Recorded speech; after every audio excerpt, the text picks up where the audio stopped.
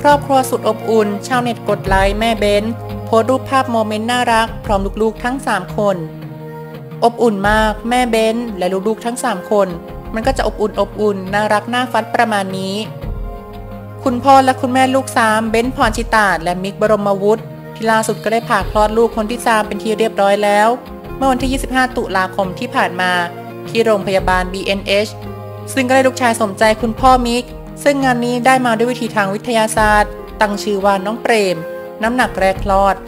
3,620 กรัม โดยได้เปิดโอกาสให้ทีมข่าวของเราไปยนชมหน้าน้องเปรม ซึ่งน้องปริมพี่สาวคนโตนั้นเหินน้องหนักมาก ช่วยคุณแม่เลี้ยงน้องตลอดเวลา จนคุณพ่อมิกต้องบอกว่า ได้มีโอกาสอุ้มน้องเปรมเพียงครั้งเดียวตลอดวันคลอด นอกจากนั้นน้องปริมไม่เปิดโอกาสให้อุ้มเลย ขณะที่แม่เบนซ์บอกว่าแม้จะคลอดลูกเป็นคนที่สามแล้ว แต่ก็ยังตื่นเต้นอยู่ อาจจะเป็นเพราะคนนี้มาด้วยวิธีวิทยาศาสตร์ บวกกับช่วงระหว่างที่ท้องก็เกิดภาวะเลือดออกด้วย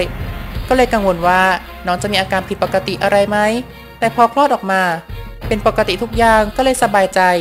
อาจจะมีตัวเหลืองนิดหน่อย แต่หลังจากเข้าตัวอบอาการก็ดีขึ้น ทั้งนี้หลังจากได้ลูกคนที่3สมใจ ทั้งคู่ได้ประกาศปิดอู โดยพ่อมิกเตรียมวางแผนทำหมันด้วย แต่รอให้น้องๆโตกว่านี้อีกนิดนึง